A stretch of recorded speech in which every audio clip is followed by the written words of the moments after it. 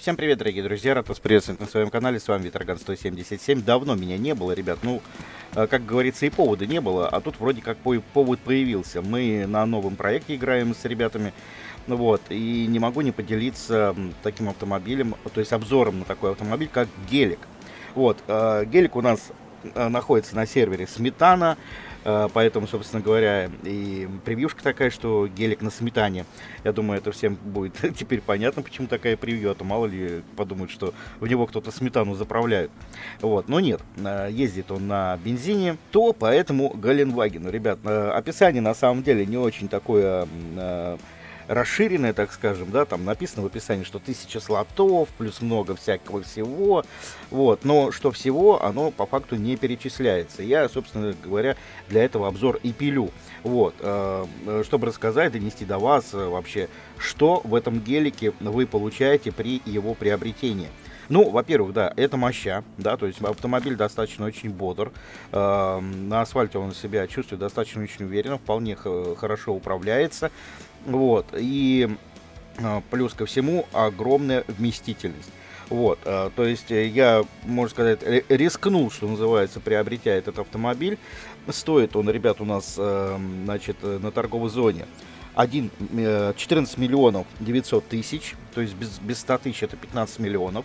Вот, э, на самом деле ценник очень такой, так скажем, э, шокирующий, может быть, кому-то покажется. Вот, э, но я пошел нек- некими другими путями, вот, да, и э, все-таки приобрел этот автомобиль э, методом доната.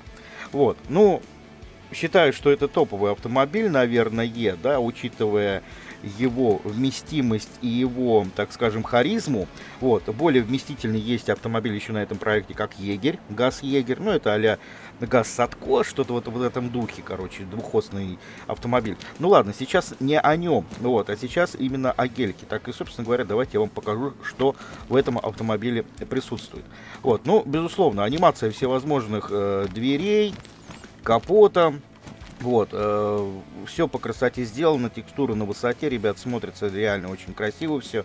Вот, что мы имеем с вами под капотом? Стандартный набор, аккумулятор, радиатор, свеча, две лампочки, кузовные элементы, колеса плюс запаска, 4 бочки, 4 деревянных ящика, матросский сундук, канистра, э, можно также еще и рюкзак сюда затолкать, и плюс 2 слота под оружие.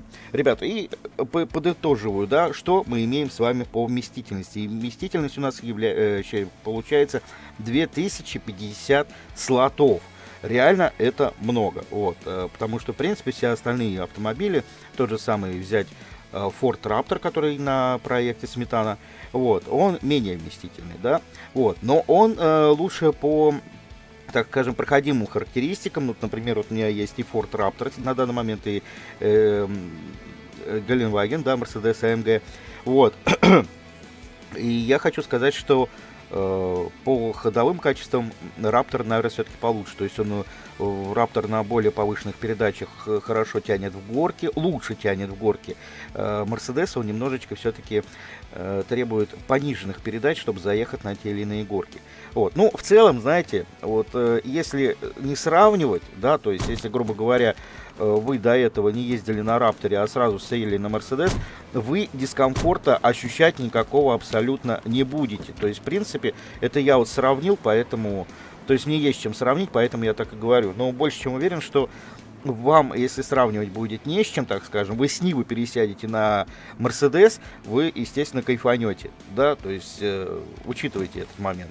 Вот, э, значит, по визуализации, э, несмотря на то, что у нас здесь 4 бочки, 4 э, ящика, рюкзак, да, там, вот, эм, по факту же мы с вами наблюдаем в багажнике только канистру, вот, да, только, только канистра, она у нас имеется.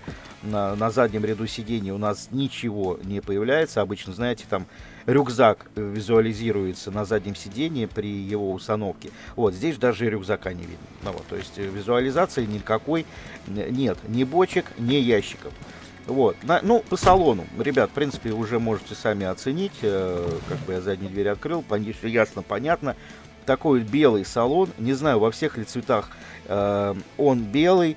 Э, цветов достаточно много, насколько я понимаю. Все цвета вы можете посмотреть э, непосредственно на торговой зоне, подойдя, да, к определенному, э, как это сказать, господи, правильно, Эм, ну, короче, к ящику, к этому, где торгуется и все, подходите, вот, там есть запчасти для этого автомобиля, и, собственно говоря, по цветам запчастей к этому автомобилю вы можете сами посмотреть, э, какие цвета на эту машину имеются.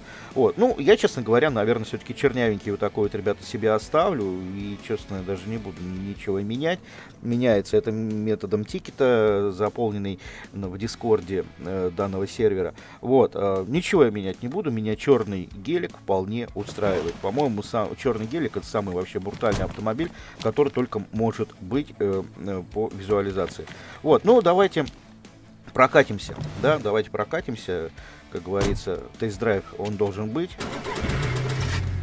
Вот, движок. Давайте я даже вот на нейтралочке погазую. Он вроде такой, знаете ли, сначала такой вязгующий достаточно, то есть, да, такой визжащий, я бы даже так сказал. Вот. Но в процессе переключения передач э, появляются нотки э, мощности такой, да, знаете, как сказать, ну, курлыканье, что ли, такого своеобразного. Так, давайте, наверное, сейчас потише все-таки я сделаю. Я думаю, звук двигателя вы оценили скорость этого автомобиля, я думаю, вы тоже, ребят, оценили. То есть то, насколько он бодр. Э, ой, то, насколько он бодр, вы тоже это оценили. Давайте в обратную сторону проедемся. Тут заодно как раз-таки можно посмотреть, как он в горку пойдет.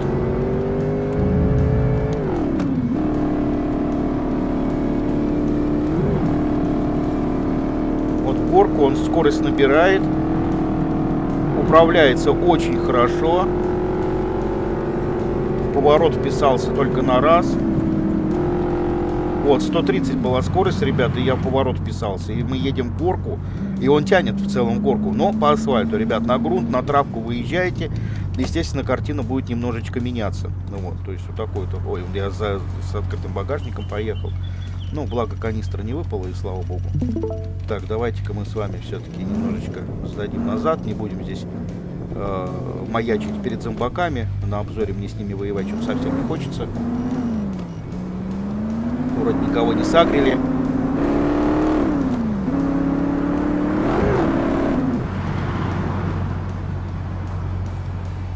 То есть вот такой вот, ребят, Мерседесик. Не знаю, все ли я вам показал. Честно, давно обзор уже не записывал, наверное. Э, как-то немножечко даже как-то отвыкся немножко от всего вот этого. Ну, я думаю, что ничего не упустил, и все самое важное, наверное, я показал. Вот, ну, э, наверное, Вот, если в чем-то где-то не, не показал, пишите, пожалуйста, под видосом мол, хочу знать вот это, хочу знать вот это. Вот, на все вопросы я, безусловно, вам отвечу. Но я думаю, для приобретения этого автомобиля все вопросы снимаются. Что почем, и сколько в него влазит, и то, как он едет. И как бы без всякой похвалы, что называется, чрезмерно, я этот автомобиль вам обрисовал. Ну, я думаю, выводы сами на себе, сами напрашиваются, да, то, то, что если у вас будет какая-то дилемма, брать, не брать, берите, ребят, берите, и вы не пожалеете. Вот, ну и на этом я закончу. Большое всем спасибо за просмотр. Подписываемся на канал, ставим лайки. Вступаем в мою группу ВКонтакте. Есть также у нас и Дискорд, где мы все сидим с, с ребятами. Вот. Э, видосики публикуются на YouTube, на Рутюбе, на ВК. Короче, где только не публикуются. Все, ребят, всем огромное спасибо за просмотр и всем пока.